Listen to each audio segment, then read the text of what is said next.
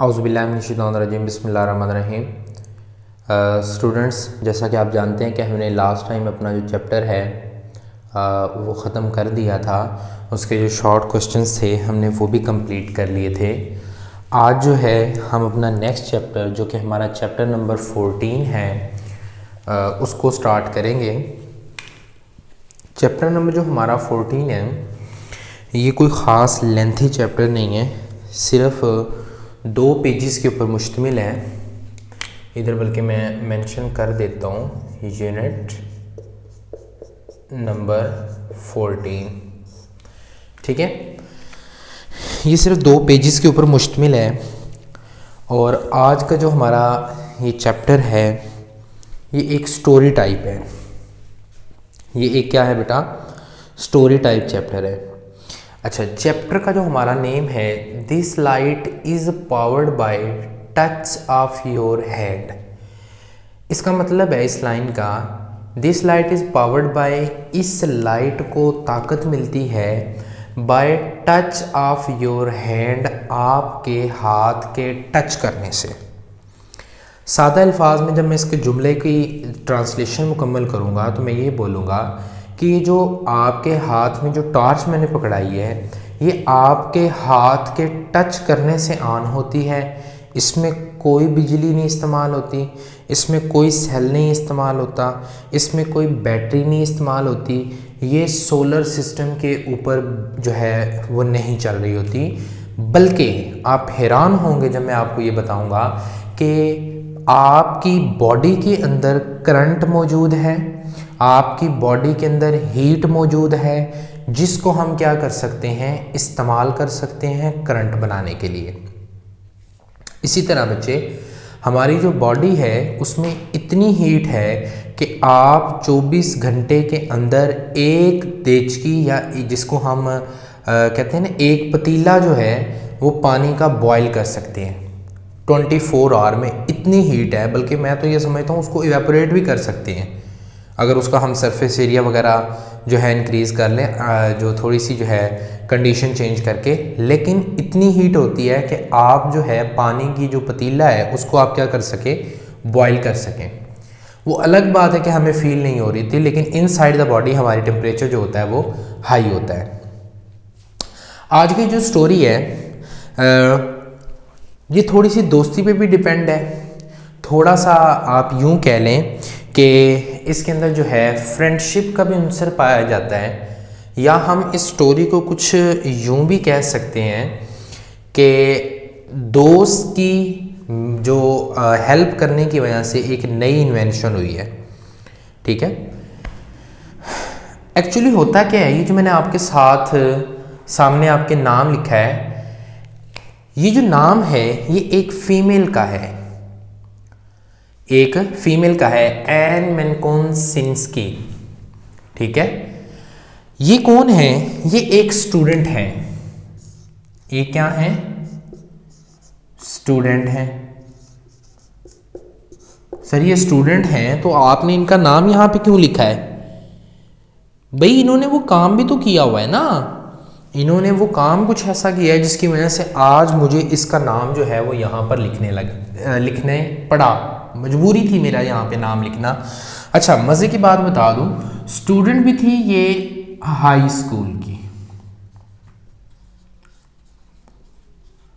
High school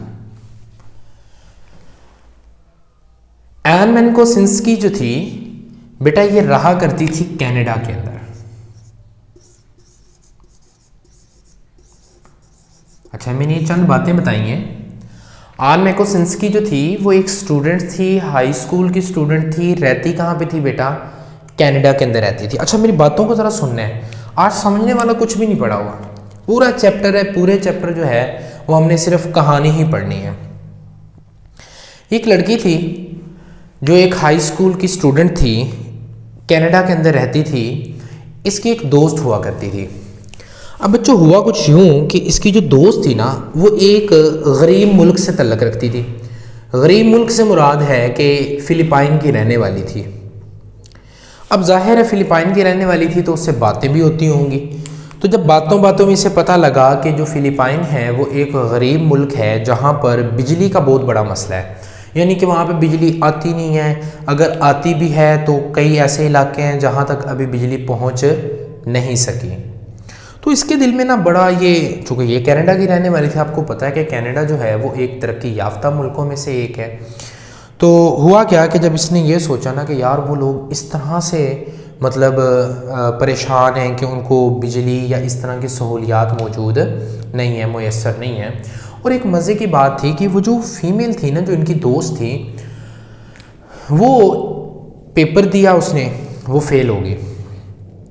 इसने उससे पूछा कि ऐसा क्या हुआ है कि आप जो है फेल हो गए? उसने कहा कि मेरे इलाके के अंदर बिजली को नहीं आती है? तो बिजली ना होने की वजह से मैं पढ़ नहीं सकती।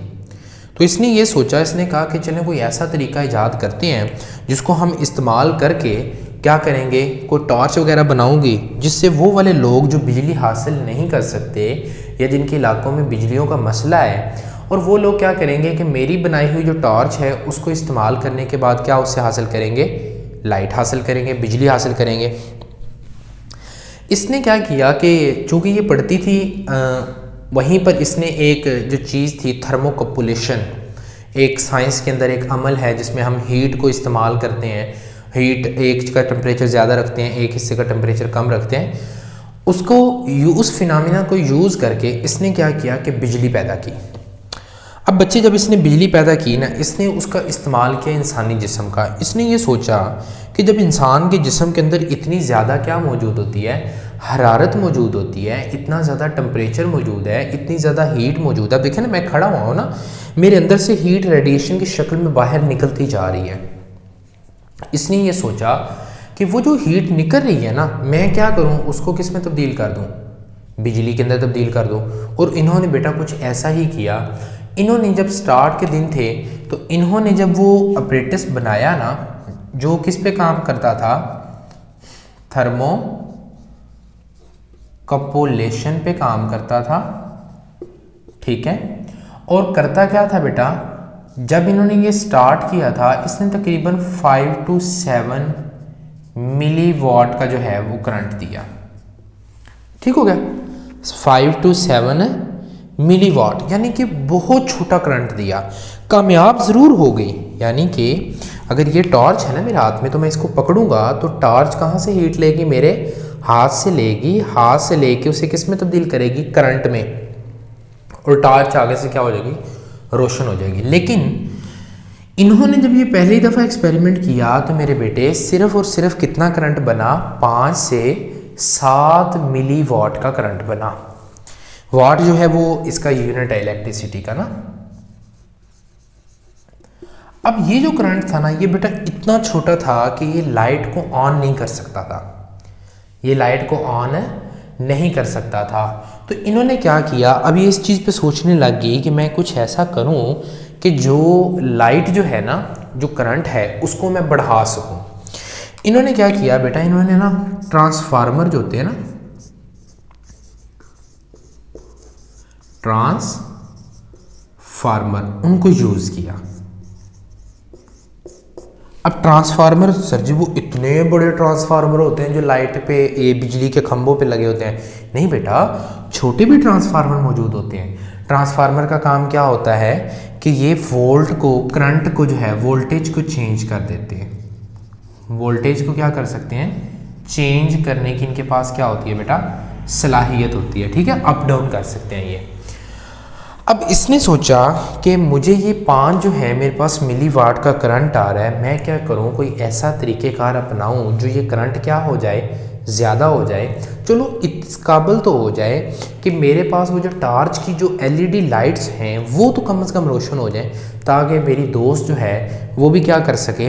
या मेरी दोस्त और मेरी दोस्त जैसे और जो गरीब ममालक के अंदर लोग रहते हैं, जिनके पास ऐसी सहूलियात मौजूद नहीं हैं, कम अज़ कम वो लोग फ़ेल होने से बच सकें। तो बेटा, ये बहुत ज़्यादा काबिल जो थी ना, वो फीमेल थी, ख़ातून थी, इन्होंने बेटा क्या किया कि उसके अंदर ट्रांसफार्मर को यूज़ किया। किसको यूज़ किया बेटा? ट्रांसफार्मर को यूज़ किया। जब इन्होंने वहाँ पर ट्रांसफार्मर को यूज़ किया ना तो बेटा, अब ये जो करंट था ना, ये वोल्ट्स के अंदर चेंज हुआ और वोल्ट में भी तकरीबन कितना बना? फाइव वोल्ट का करंट बन गया। कितना बन गया? फाइव वोल्ट का बना करंट बन गया। इसको आप ऐसे समझ लें कि जो आप घरों में आपका जो वॉल क्लॉक होता है ना, वो जो रिमोट का जो सेल होता है, वो जो आप यूज़ करते हैं ना, वो तकरीबन होता है 1.5 का 1.5 वोल्ट का। अब देखें, इन्होंने क्या किया बेटा? 5 वोल्ट करंट प्रोड्यूस करवाया। कहाँ से? इंसानी बॉडी के अंदर जो हीट होती है, उस हीट को यूटिलाइज करवा के। क्लियर हो गया बेटा? अब ये जो करंट इतना था, ये कदरे बेहतर करंट था, जो क्या करता है कि लाइट को जो एलईडी लाइट्स हैं, उनको रोशनी, उनको ऑन करने में ये मदद देता है। तो इस बच्ची ने, ना बेटा, जब ये काम किया ना, अब इसने लाइट ऑन कर ली। फिर एक दिन कैसा हुआ कि कुछ मौसम वगैरह चेंज हुआ तो उसमें ये हुआ कि चूँकि आपको पता है ना, जब मौसम चेंज होता है कनाडा में वैसे भी जो है वो सर्दी ज़्यादा होती है। सर्दी का जो टाइम पीरियड है वो ज़्यादा होता है, ठंड होती है। तो अब क्या हुआ कि जब इसने देखा ना कि बाहर ठंड है और मेरे हाथ के अंदर जो क्या है, गर्मी है, हाथ अंदर से गर्म है तो जो लाइट है ना, ये जो बल, वो जो मैंने एलईडी लाइट बनाई थी, उसकी रोशनी ज़्यादा होगी यानी कि जब बाहर ठंड होती है, ठंड की वजह से एनर्जी जो होती है, जो लाइट होती है, वो ज़्यादा पड़ने लग जाती है, यानी कि वो जो लाइट होती है, उसकी रोशनी ज़्यादा हो जाती है। इसने ये सोचा कि जब रोशनी ज़्यादा होती है, इसका मतलब है कि जब बाहर ठंड होती है तो हमारे जिसम से जो करंट होता है, वो ज़्यादा पैदा होता है। क्या होता है? ज़्यादा पैदा होता है। तो इस अमल को बेटा उसने यूटिलाइज़ किया तो इस काबल उन्होंने ये जो लाइट थी, जो टॉर्च थी, वो इस काबल बना ली कि वो कम अज़ कम जो है अगर आप उसको आ, मतलब स्टोर भी कर लें ना तो वो कम अज़ कम जो है आपके पास काफ़ी टाइम गुजार लेती है। फिर इन्होंने क्या किया बेटा? इन्होंने इस आइडिया को जो है अपनी अब जो चीज़ बनाई थी चूँकि आपको पता है कि जब मैं मैं एक चीज़ याद करता हूँ तो फिर उसके हिसाब से जो है वो मुझे भी शेयर्स मिलने होते हैं। और उसकी प्राइस भी जो है वो सेट करनी होती है उसी हिसाब से। तो इन बच्ची ने क्या किया कि इन्होंने ना तकरीबन उसकी पाकिस्तानी कीमत जो थी ना वो छब्बीस सौ रुपया रखी। Two thousand six hundred rupees इन्होंने उसकी कीमत रखी और ताकि वो हर मुल्क के अंदर क्या हो सके डिस्ट्रीब्यूट हो जाए। अब बेटा, ज़रा उसके बेसिक प्रिंसिपल के ऊपर मैं आ जाता हूँ। आपका वो लेवल नहीं है, आप ज़रा ना छोटी क्लास है ना तो बेटा इसका पूरा प्रोसीजर जो है आपकी बुक में नहीं लिखा हुआ इसका जो है जो डिटेल मैकेनिज़्म है ना, वो हायर लेवल पे लिखा हुआ है कि किस तरह से एक्चुअली इसके अंदर से करंट प्रोड्यूस होता है। ठीक है? चलें। अब देखिए ना, मैंने ये घड़ी है ना, इसको मैंने वो सॉरी टॉर्च है ना, इसको मैं ऐसे ही पकड़ूँगा ना, ऐसे पकड़ूँगा। तो मैंने ना इसको ऐसे पकड़ लिया क्लोज कर लिया। अब समझें कि एक हाथ मेरे, एक जो है, वो यहाँ पे लग रही है, अब पूरी तो नहीं ना पकड़ी जाएगी। एक तरफ़ से उसके वो होल्ड भी होगा, जहाँ से मेरा हाथ पूरा तो नहीं ना पकड़ेगा उसको। तो क्या होता है कि ये आपकी बॉडी से यूँ हीट लेती है? आपका बॉडी गर्म होती है ना? मैंने भी आपको बताया कि हमारी बॉडी के अंदर जो है, वो हीट मुसलसल निकल रही होती है। तो ये यहाँ से ऊपर से जो हीट आएगी ना बेटा तो वो क्या करेगी ना, नीचे ना एक छोटी छोटी ना बारीक बारीक सी चीज़ें पड़ी होती हैं। ये भी हम जो हैं वो खुद ही बनाते हैं। अब ये जो चीज़ें होती हैं ना, इनको बोलते हैं कंडक्टर। ये जो चीज़ें मैंने नीचे बनाई हैं, इनको बेटा क्या बोलते हैं? कंडक्टर। और कंडक्टर में भी सेमी कंडक्टर इसी तरह ये भी क्या है? सेमी कंडक्टर दोनों में ना फ़र्क होता है। एक को आप बोलते हैं बेटा पी टाइप एक को बोलते हैं एन टाइप सेमीकंडक्टर अब ये क्या होते हैं कि इसके अंदर पॉजिट्रॉन्स यानी कि प्रोटॉन की तादाद या पॉजिटिव चार्ज होता है, एक पे नेगेटिव चार्ज होता है तो इस तरह करके ना आगे इनका यह आयनाइजेशन हो सकती है ये जर्मीनियम के साथ और गैलियम के साथ और इस तरह करके मिलके बनते हैं, लेकिन वो आपके सिलेबस का हिस्सा नहीं है। ठीक है? अब हुआ क्या बेटा? कि यहाँ से आपकी बॉडी के अंदर क्या आई? हीट आई। हीट यहाँ पर आई तो इन डायोड्स के ऊपर गिरेगी। इन डायोड्स के ऊपर जब ये हीट आएगी तो यहाँ से क्या बेटा प्रोड्यूस होगा? करंट होगा। और यहाँ से जो है वो कूलर जितना बाहर कूलर होगा टेम्परेचर उतनी हीट ज़्यादा रिलीज़ होगी। और जितनी हीट ज़्यादा रिलीज़ होगी, उतनी ही रोशनी ज़्यादा होगी। और यहाँ पे कुछ इलेक्ट्रिकल वायर्स हैं, जो एज अ कंडक्टर का काम कर रही हैं। इस साइड पे भी हैं।